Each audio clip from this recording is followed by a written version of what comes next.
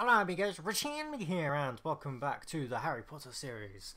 We are playing Harry Potter and the Chamber of Secrets because I originally did Harry Potter and the Philosopher's Stone quite a while back and once again this is the PlayStation 1 version. We've got a couple of languages to choose from. We're going to choose well, American. I don't know why the American flag's there because um, I'm not American. they could have at least changed the flag. but it's all good. Now I'm going to start a new game. Um, those were just a couple of like test files and um, I might end up getting talking about some of that in a minute. Um, just going to start, jump right into the game. We've got little like, well actually first it's going to talk about autosave isn't it? Yeah. So this game introduces an autosave feature which makes it like automatically a lot better than the first one because the first one you have to find save points and save like manually, but this one does it automatically, as the name implies. Makes it so much better. But yeah, starting off the book just like in the first game. Harry Potter's first year at Hogwarts School of Witchcraft and Wizardry was very eventful indeed. Along with his friends Ron Weasley and Hermione Granger, Harry had managed to defeat Lord Voldemort, the greatest dark sorcerer of all time. But now Harry was back at number four Privet Drive. He was often locked in his room, and even though he was a wizard, he couldn't escape because he wasn't allowed to use magic. Then, one evening towards the end of the summer holidays, a house elf named Dobby appeared. Dobby warned Harry not to return to Hogwarts.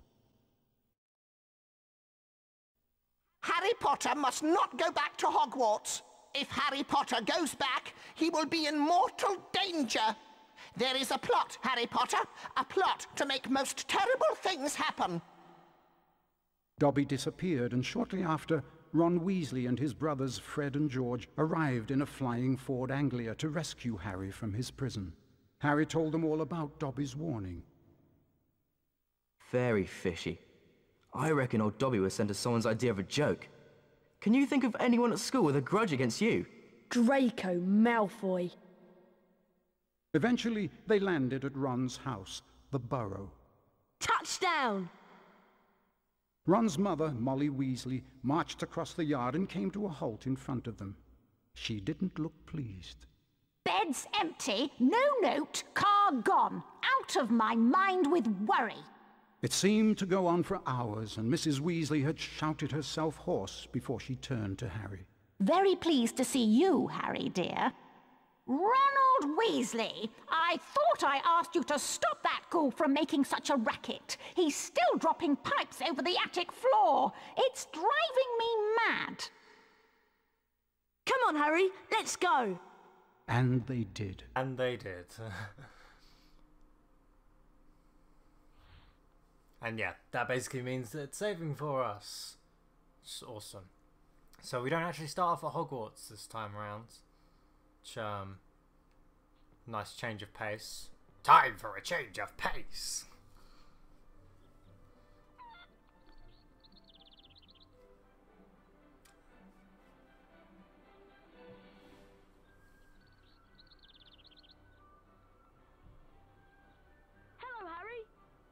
To my home. It's not much. I think it's brilliant. Thanks, Harry. We call it the Burrow. Come on, Harry. If the ghoul locked the attic door again, we've got to try and find another way in. Oh, yeah. And uh, our wand's starting to go off. I see Dad has placed some crates in the garden. Why don't we use them to climb up onto the roof and then into the open attic window? Seeing you've been stuck at the Dursleys for so long, you can practice your knockback jinx on the crates. Remember, you need to press the X button to cast. It works exactly how it did in the previous game. Like, literally, like, the everything is just exactly the same, like, control-wise and everything, so, yeah.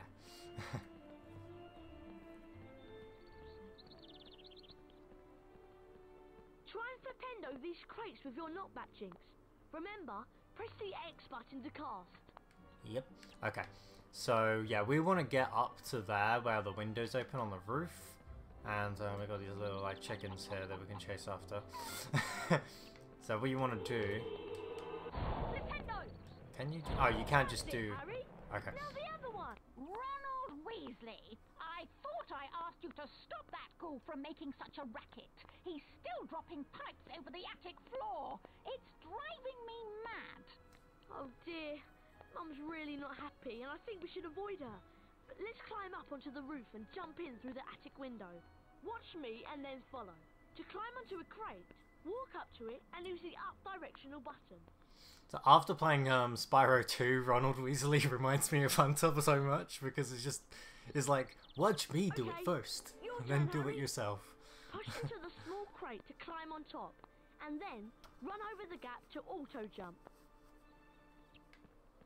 Oh yeah. Pretty much just like the first game, which is also just like Zelda. but that that's fine to be honest. I, I felt like the first game was fine as is, so yeah, I'm glad that they stuck with it. I guess. Right, we need to calm down the ghoul. He's banging and dropping pipes and it's driving Mum mad. Use your directional buttons to move the chest. Try and catch 60 pipes before they land on the floor and make a terrible racket. Right, Harry, let's get to it. Okay, so this you just have to catch the pipes as he throws them. I find it kind of weird. Like I haven't played this game like since um, my latest console, like since around the time where the latest console I owned was a PS1. So it's been like, oh my god, like 17 years maybe? I don't know, 15, 16 years? So I haven't played this in a very long time. And um, so the uh, the first time in a while, like the first time in a long time I played it was the test that I did where it had like I think seven percent, which is when I realized that for a Harry Potter game, um, they have like a bunch of random like stuff that is completely different to the main game right at the beginning of this game, and it's so weird. Nice So we work, Harry. That'll shut him up for a while. Thanks for helping with the ghoul. Ah, that's much quieter. Now I need you boys to denome the garden for me. Go find Mr. Weasley. He's by the shed messing about with non-magical junk. Maybe we can tell him what the function of a rubber duck is. That would be very useful. But yeah, so now um, actually next is something that's kind of Harry Potter-ish. But like after that, we do something like a completely new mini game again. It's really weird the way this game's set up, and ah, Right, let's go find Dad. I still I still like it, but I can't help. I, I feel like that if this was my first time playing it, I would have found it like really weird that the whole changing gameplay thing. I can't I can't remember how I felt about it like all these years ago. I I do remember finding one thing annoying, and we'll get to that when we get to that. But leaves his junk everywhere. It drives Mum mad. Try smashing these barrels with a fully charged knockback jinx, so we can get through the gate. So yeah, as I did before, you can hold it down and just, yeah. Now, we got jelly beans in this game, and uh, I will be going for 100% in this game as well. Um, I don't actually remember where everything is, because I haven't played this in ages. But, um, I mean, I got through the Harry Potter and the Philosopher's Stone, Come on, let's go and find Dad. And 100% that in my Let's Play, and I never even 100% in that game before, so, I only played it once, so it should be fine, because from what I remember, once you finish this game, you can backtrack to o- older areas, but I think it specifically makes it so you backtrack to areas that are um, Hey, needed look, for 100%. Ginny's over by the Puffskein patch. Why don't you go and chat to her? She's been a bit shy lately. I wonder why. I'm off to see what Dad's up to. Now, this game doesn't do a very, very good job of saying it, do, um, showing it. Um, it literally, like, all you get was, like, the context of, like, Ron right there.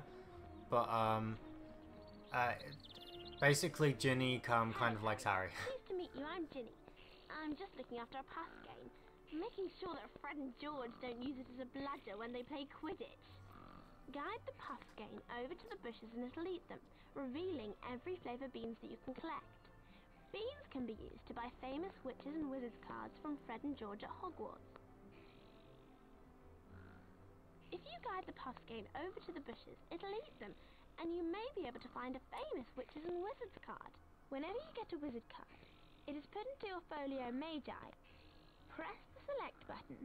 This will show you the Folio Magi and the wizard cards you've collected at that point.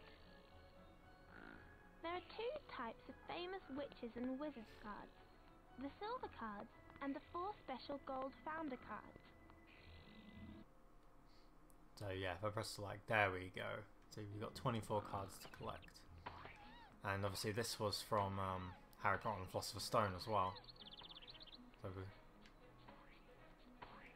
Oh, okay, he's eating this one over here. Okay, that, that's that's fine too. You do you. But yeah, um, like, um, in the, in the um, Harry Potter and the Chamber of Secrets, like the um, the film, um, Harry tries talking to Ginny and then she just runs off. um, I believe this is actually the first time you actually see Ginny because she wasn't actually in the first film as well, which is pretty cool. You get a bigger insight in um, Ron's family in this game. Because, I mean, we start off at their, the place they live, you know, their, their home. Harry, here's a famous Witches and Wizards card. Felix Summerbee. Best find Ron, Harry. He's gone off to see Dad, I think. It's this way. Why is she holding her head? That's kind of a weird running animation. I like it. Um, yeah, we're gonna get the rest of these just because, like, beans, you know?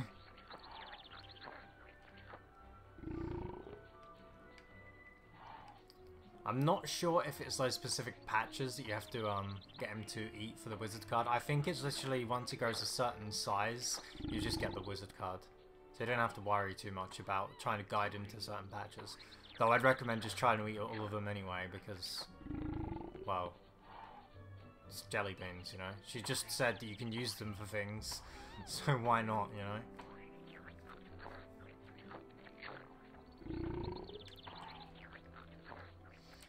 Uh, yeah, something that you might actually remember that I said in um, Harry Potter and the Philosopher's Stone. Where did that jelly bean go? Oh, there it is. it was, um... I'd only watched the first five Harry Potter movies, and um, I found Order of the Phoenix pretty boring, and then I just stopped. And the only book that I read was the third one. Well, it's been quite a few years since that playthrough, and um, while I haven't read um, any more of the books, I can tell you that I have actually watched all of the films now. Okay, there's no more stuff here, so we can move on. The fifth film wasn't actually as bad as I remembered, and I'm glad that I continued watching because Half-Blood Prince is like my favourite film now, so... Hello, Harry. I'm Arthur Weasley. I was wondering if you'd help me denome the garden. It's just through the gate, but you'll need the denoming gloves to grab the gnomes. Unfortunately, I seem to have lost them under all this junk. Use your Wingardium Leviosa spell to charm and move the junk. And of course, we had this spell in the first game, so we just get it like right off the bat in this game, which is pretty cool. triangle button to drop it onto the rocks and break the junk up. I don't think like everything from the first game carries over though. them and drop them onto the rocks, please. Maybe we can find those gloves. I know I left them round here somewhere. It's more so the more important ones. the charms class last year. Better find the denoming gloves. We can't denome without them. Lift up the crates and then drop them on the rocks below. I can't wait till we get to the part where these characters stop talking because I want to like. I, I'm in the middle of like commentating and all of a sudden I have to stop everything I say, and then I feel like right, Harry. that's right, Harry, keep going. Um, I feel like I just forget what I'm saying after I've listened to what they said. Um, oh yeah, you only have to hold the X button. Forget that. You have to drop them on the little rocks as well, right, otherwise they going. won't get destroyed. And there has to be a certain height. You can't just drop it and be like, oh yep, this was gonna work. No, you have to actually put it a certain height and then drop Well it. done, And the Nice the gloves are always in the last crate. Here they are.